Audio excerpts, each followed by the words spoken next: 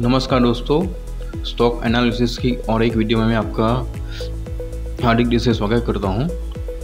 आइए दोस्तों, मैंने लास्ट वीडियो में आपको तीन स्टॉक दिए थे तो उसने कैसे परफॉर्मेंस किया वो आज हम देखते हैं।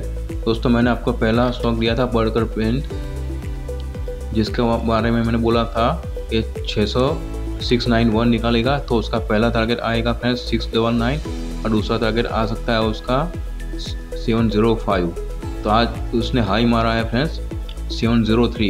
तो तकरीबन तकरीबन वो हमारा सेकंड टारगेट के करीब पहुँच गया है फ्रेंड्स, और वो हम मान भी सकते हैं कि दोनों टारगेट उसने अचीव कर लिया। ओके तो हो सकता है कल इससे भी ऊपर जा सकता है। अगर कल नहीं जाएगा तो आप उसमें प्रॉफिट बुक कर सकते हो।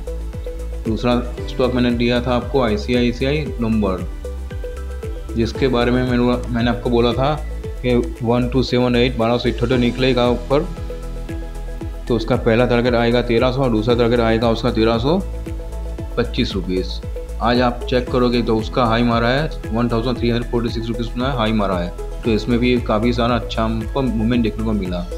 दूसरा, तीसरा स्टॉक मैंने आपको बताया था गोदरेज प्रॉपर्टीज़ इसके बारे में मैंने आपको बताया था कि सोलह सौ निकलेगा तो उसका पहला टारगेट आएगा सोलह सौ पचपन।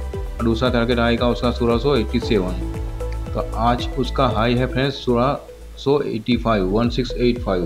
तो तकरीबन तकरीबन ये भी हमारा सेकंड टारगेट के पास आ गया।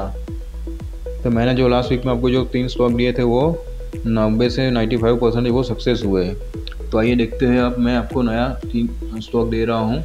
इनमें से एक है गोदरेज का ही है, इनमें से एक स्टॉक है गोदरेज कंज्यूमर्स आप यहाँ पे चेक करोगे फ्रेंड्स कि यहाँ पे उसने एक वन डे के कैंडल में उसने ये ट्रेंड लाइन जो बन रही थी, वो उसने आज ब्रेक किया है।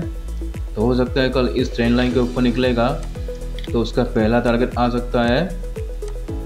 सेवन फिफ्टी वन निकालना पड़ेगा तो उसका पहला टारगेट आ सकता है सेवन सिक्सटी फोर और दूसरा टारगेट भी आ सकता है सेवन सेवेंटी एट ही ये स्टॉक का मैं आपको जो दे रहा हूँ वो वन वीक के लिए रहेगा फ्रेंड्स उसका टारगेट और दूसरा तारा दूसरा स्टॉक मैंने निकाला है रिलायंस फ्रेंड्स दूसरा स्टॉक है रिलायंस अगर आप देखोगे रिलायंस को कि काफ़ी दिनों से वो लगातार अप साइड ही जा रहा है, लेकिन आज उसने एक बेरिस कैंडल बना ली।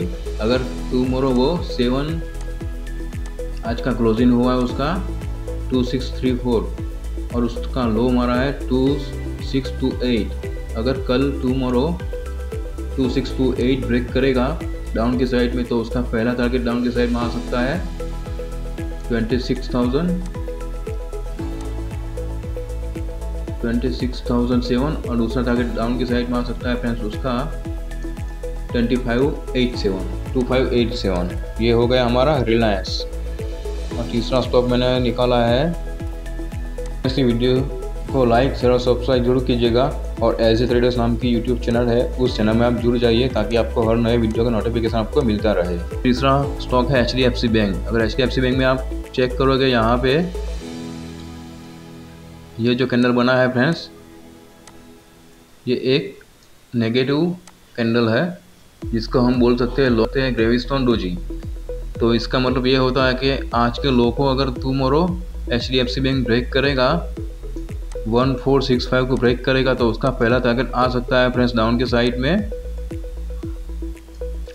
वन फोर फाइव सेवन और दूसरा टारगेट भी आ सकता है फ्रेंड्स उसका डाउन के साइड में। वन फोर फाइव ज़ीरो अगर ये एच डी एफ़ सी बैंक पंद्रह पॉइंट नीचे गिरता है तो बैंक निफ्टी भी नीचे गिर सकती है। ओके फ्रेंड्स फ्रेंड्स ये हो गया हमारा स्टॉक के बारे में। मैं जो भी आपको वीडियो बनाता हूँ ये एजुकेशन प्रपोज से ही बनाता हूँ फ्रेंड्स। तो आप अगर इन्वेस्टमेंट करना चाहते हो, आप आप अगर इन्वेस्टमेंट करना चाहते हो तो आप अपने फाइनेंशियल एडवाइजर की सलाह मशूरा ज़रूर लें चलो मिलते हैं नेक्स्ट वीडियो में। जय हिंद।